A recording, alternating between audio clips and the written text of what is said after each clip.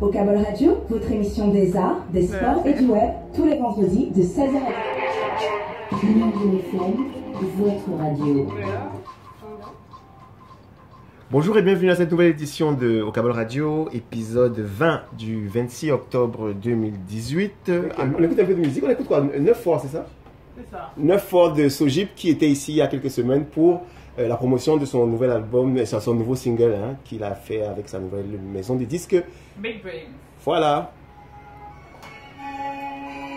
Championne qui a joué même la, la, la Champions League euh, africaine euh, contre une équipe nigériane, le Plateau United, je pense. Oui, Et Plateau United. voilà, et vous avez été éliminé au premier tour. Après cela, tu, après euh, cette élimination, tu as, tu as décidé de partir du Cameroun. Tu t'es retrouvé en Tunisie. On l'avait annoncé ici à l'émission. Tu t'es retrouvé en Tunisie. Tu as commencé les entraînements avec le club africain. Et puis, euh, après, tu t'es retrouvé au Cameroun quelques, quelques semaines après. Euh, alors, raconte-moi. Moi, moi, moi. Quelques mois après. Alors, qu'est-ce qui s'est passé? Ouais, du, du, du côté de la Tunisie, je suis arrivé, j'ai eu un très bon contrat. Après, qui qui, qui s'est pas passé comme, comme j'avais souhaité. Voilà, je suis arrivé en Tunisie. Quelques jours après, mon président au Cameroun m'a suivi. Tout s'est passé dans la norme, dans les règles de, de la FIFA. Bon, après, voilà, je sais pas ce qui s'est passé. Euh, le, le nouveau coach qui est arrivé est un Belge. Et il a fait un choix. Il a dit qu'il ne pouvait pas travailler avec moi pour X raisons après. Bon, je pouvais rien faire. C'était lui le boss, c'était lui le coach et j'ai juste, j'ai juste assumé. Voilà, D'accord. Après, j'étais obligé de rentrer parce que j'étais pas là en aventure. J'étais allé pour, pour, pour, pour un contrat. Voilà, si je peux pas le signer, je, je rentre au Cameroun. Jojo, tu as une question? Oui, je voulais savoir comment, comment tu as fait pour gérer cette situation? Parce que j'imagine, voilà, toi quand tu pars d'ici, tu pars en sachant que les choses vont bien se passer et quand tu arrives là-bas, ça ne se passe pas comme tu le souhaitais. Comment tu as fait pour gérer le fait de ne pas pouvoir jouer dans ce club et de peut-être revenir, peut-être de revenir au Cameroun et on va dire ça comme ton point de, est comme ton point de départ? Ouais, après, c'était une pilule très difficile à avaler. C'était tellement très difficile parce que là, je me retrouvais déjà seul en Tunisie. J'avais personne, pas de famille. Je pleurais tout le temps. Mais après, il fallait, il fallait, il fallait se remettre. Il fallait se remettre vu que je suis un jeune joueur de 24 ans. Donc, euh, je me suis dit, à l'avenir, il y a plein de bonnes choses. Si déjà je suis quitté du Cameroun pour le grand club africain de Tunis, ça veut dire quelque part, il y a, il y a un truc.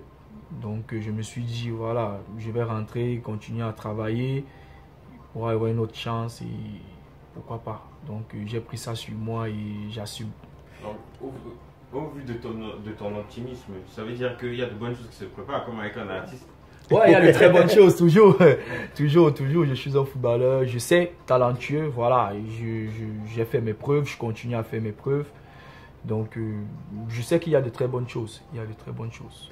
Qu'est-ce que tu penses de la, la- la nomination de Rigobert Song chez les U23?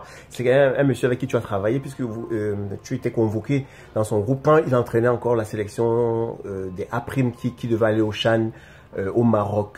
Alors euh, tu, as, suivi ça, qu'est-ce que tu en penses? Oui, j'ai vu récemment dans les, réseaux que le, coach Rigaud est, avec les U23. Voilà, c'est- toujours une très bonne opportunité. Il était chez les A, maintenant chez les U23. C'est vrai que moi, j'ai plus l'âge, mais c'est quelqu'un avec, avec qui j'ai que j'ai travaillé, que j'apprécie beaucoup, que j'ai de l'admiration vu qu'on joue le même poste. Donc, euh, puisque je suis A prime, j'aurais souhaité qu'il reste A prime pour Ouais. continuer à travailler avec lui, mais il est espoir et moi je ne le suis plus. Donc euh, bonne chance à lui et j'espère qu'il fera de, de, bons, de, bons, de bons trucs là-bas de ce côté-là. Est-ce que tu as gardé contact avec les, les- tes anciens coéquipiers de Eding qui sont d'ailleurs qualifiés pour la finale de la Coupe du Cameroun? Est-ce que tu, tu, tu, tu sais comment ils s'entraînent? Est-ce que tu, ben, tu, veux, tu vas par exemple aller voir la finale que- quand, quand, quand on connaîtra la date? Oui, j'ai gardé de très, très très bonnes relations avec euh, les joueurs, les coéquipiers, comme euh, le staff administratif, comme les dirigeants, voilà, les coachs et tout. Je discute avec eux tout le temps. Quand je suis arrivé, j'ai regardé les, quarts de finale contre New à Limbé. J'ai assisté une fois aux entraînements. Voilà, on discute, on parle et tout. Ça reste une très bonne équipe pour moi. J'ai été champion du Cameroun, j'ai été international à prime avec Eddie. J'ai participé à ce qu'il soit aujourd'hui en finale de la Coupe du Cameroun. C'est vrai qu'après la 26e, après 26 matchs, je suis parti en Tunisie, mais ça reste une équipe dans mon cœur et tout, même si après il y a une décision qui a été prise, mais elle reste personnelle.